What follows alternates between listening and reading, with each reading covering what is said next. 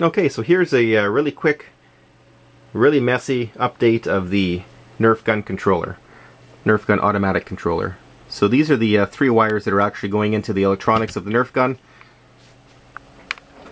Those all come over here to this prototype board and uh, this prototype board actually controls those using these two Darlington transistors. There's also two voltage regulators on here. One is used to uh, power up the 5 volts for the uh, uh, the actual motors on the Nerf gun and the other 5 volt regulator is uh, separated just for noise concerns and that actually just uh, powers up the PIC controller and any other low voltage items here. So this is actually on and running and what we see on the display here is uh, an infrared off, infrared on, and a difference value. So what that is, we have an infrared LED right here, and we have an infrared transistor, which is that guy right there, that clear one.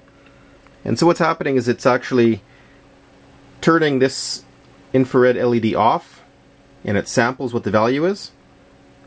Then it turns the infrared LED on, and samples it again, and it gives me the difference here. And so based on that difference, we can tell if the beam is broken or not. So I'll break the beam and show you what happens. The unit fires a dart. And it stages, so what that means is basically the two motors in here spin up, and once they're up to speed, which I, I believe is uh, about half a second or so, then the motor in here um, fires a dart. Let's see that one more time.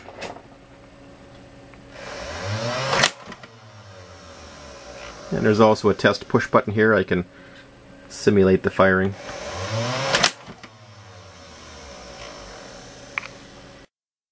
For more information, go to hackedgadgets.com.